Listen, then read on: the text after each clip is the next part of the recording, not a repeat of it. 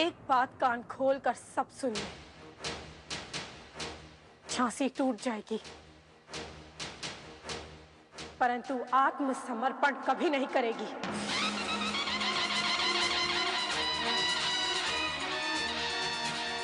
जब तक सांस है, हम लड़ेंगे। अब हमारी झांसी में विश्वासघातियों के लिए कोई स्थान नहीं। हम अपनी धरती माँ के लिए युद्ध करेंगे। और जो इस लड़ाई में हमारा साथ नहीं दे सकता, उसे इस धरती पर रहने का कोई हक नहीं। निकल जाइए हमारी झांसी की सीमा से।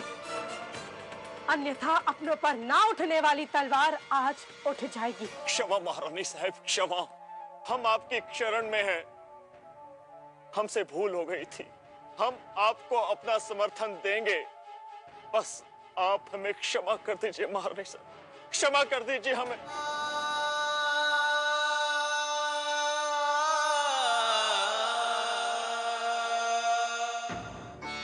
अस्थि विसर्जन नहीं करना चाहती न करो। परंतु आनंद ने मुखाग्नि दी है और कर्ता की शुद्धि के लिए गंगा स्नान कराना आवश्यक है। ठीक है। ले जाइए। तुम कहाँ जा रही हो?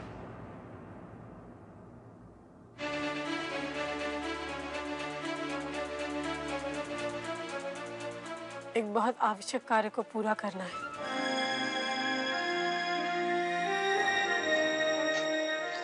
आते समय अपने दामोदर की समाधि पर भी गया था। इस समय दामोदर की याद बहुत आ रही है।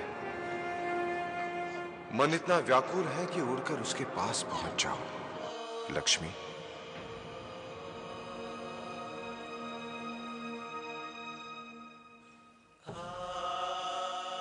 आप क्यों रो रही हैं?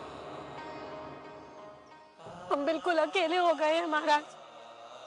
किसने कहा कि आप अकेली हैं? और कौन है हमारे साथ? आनंद अब वो आपका पुत्र है। वो आपके साथ है।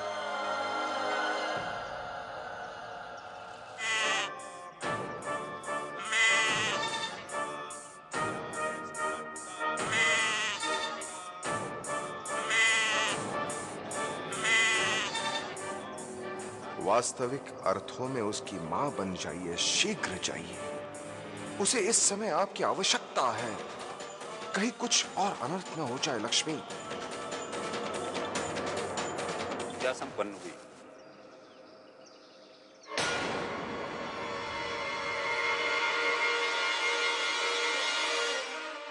आनंद?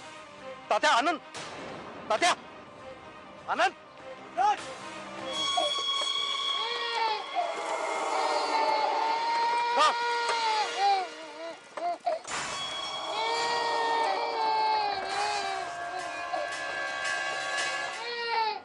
Looks like royalty. Jhansi's royalty.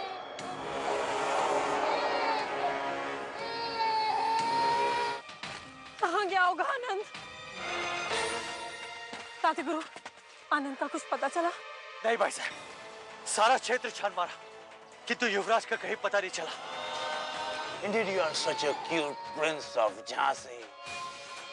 I believe in signs. I know. Your mother will be extremely worried.